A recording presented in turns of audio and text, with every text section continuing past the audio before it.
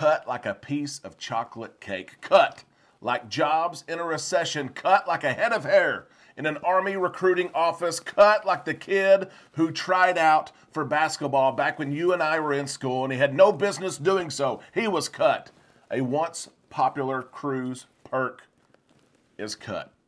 It's gone for just about every cruise line. We have news on that today. If it upsets us so, we're going to Holland America, who's celebrating 150 years and doing so by giving us beverages for 75 cents. 75 cent drinks. You can't buy Coke for that in today's world. Also, on the show today, Nassau, Bahamas sets yet another single day record for cruise passengers so many ships in port, thousands of passengers. Is it a good thing? And finally, Norwegian Cruise Line sharing maybe we messed up. Maybe with their newest ship, the Prima, the Viva, we went too small. They went the opposite direction of everyone else in the industry. We all need some time in the islands. Let's go there now on Island Time.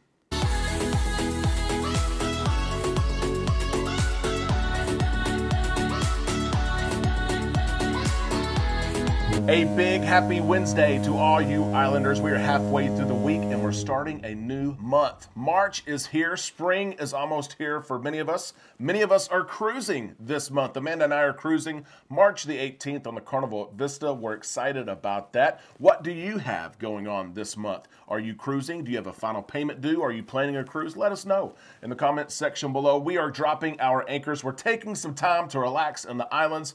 We have several cruise news stories to share with you today. And there's going to be ample opportunity for you to get involved, for you to be engaged, to share your thoughts, your comments on these news stories. But first, let me ask are you subscribed to this awesome community? Hit that subscribe button, ring the bell to receive those notifications when we upload content. Let's get into this cruise news. There's so much to talk about today. And let's start with this right here a popular cruise perk that you and I have come to know and love was cut by Carnival Cruise Line in 2022. Norwegian cut this perk in December of 2022. And today it's Royal Caribbean sharing that twice a day housekeeping services are set to be cut. Royal Caribbean, one of the last holdouts to offer both morning and afternoon or evening housekeeping services for your cabin. Those loyal to Royal have pointed out we still get our cabins cleaned twice per day, but Matt from the Royal Caribbean blog, who knows that world so well, is reporting that several ships have already started this option. You can choose do you want that service to take place in the morning, or would you like your cabin steward to clean your cabin, straighten your cabin in the evening? There's no longer twice a day cabin service. Royal Caribbean has not announced anything official yet, but the proof is in the cleaning service or lack thereof. Many people are asking why. Why, Royal Caribbean? Why would you do this? And it's for the same reasons that other cruise lines did the same thing in 2022. You talk about labor, right? If cabin attendants, stateroom attendants only have to clean each cabin once per day, they can then clean more cabins over the span of a day, and therefore it takes less crew members to clean cabins on a cruise ship. Labor is one of them. It's also been cited environmental reasons, right? If you have twice a day cleaning service, they're picking up your towels from your room. The towels that you use, they're probably not being reused. And it has an environmental impact, of course. And then other cruise lines have cited just the norms in hospitality. You don't get twice a day cleaning service when you stay at a hotel. Which cruise ships have already started this once a day cleaning service? Here they are Quantum of the Seas, Ovation, Spectrum, Independence, Wonder, and Harmony of the Seas. All of them have already started this service with the Spectrum of the Seas maybe set to take place April the 16th. Islanders, is twice a day cabin service something you miss? Is it potentially a perk that you would pay for? Do you prefer to have that morning or evening service? And let's think about it. Do we really need our cabins cleaned twice in a 10 hour span. This is the first of many opportunities for you to share your comments just below in this community. We'll see what everyone thinks.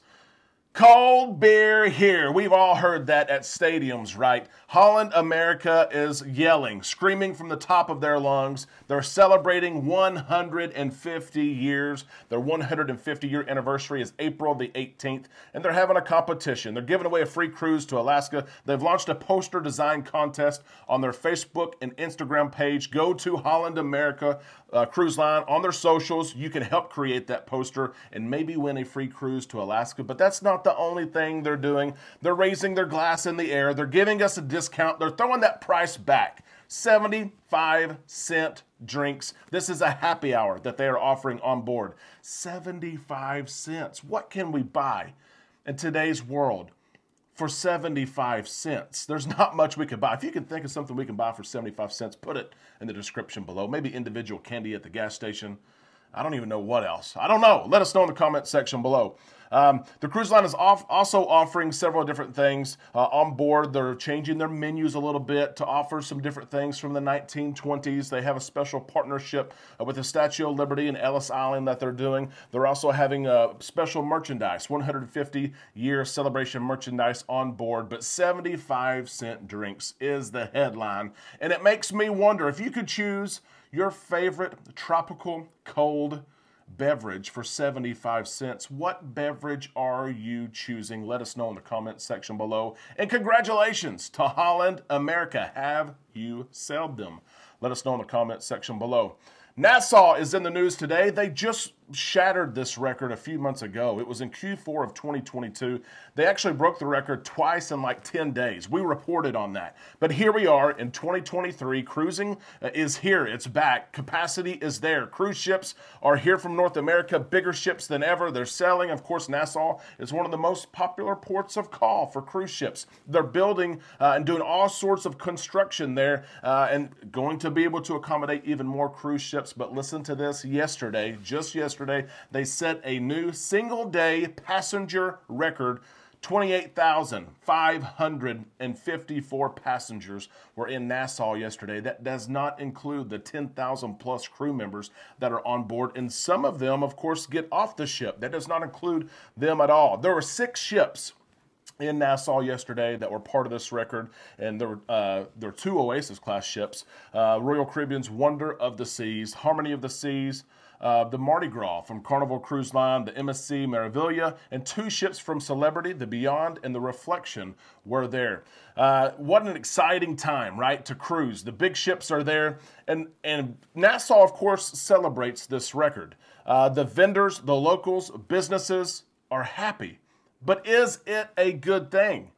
We've seen this record now broken three times in the last probably three months. and it reminds us that there's more opportunities to cruise than ever. Cruise ships are bigger than ever before.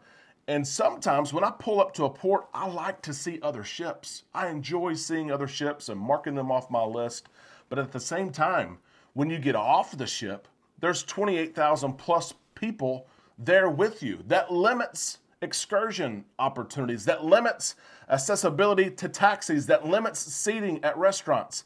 It's great for ports. Do not get me wrong. We're excited about that. They deserve that. They've invested time and money in their businesses. But sometimes, as a cruiser, when you pull up and you see all those cruise ships and you get excited, you have to remember there's a lot of people here. That's why it's always important to plan ahead. Plan your excursions ahead. If you have to put down a deposit for your excursion to hold your spot, do it because other cruise ships are there. And if you wait until a month in, until a week or two before you cruise, until you get on board, things may be sold out because there's 28,000 people visiting with you. What do you think about this story here from Nassau? Do you think it's a good thing that 28,000 plus people were in port?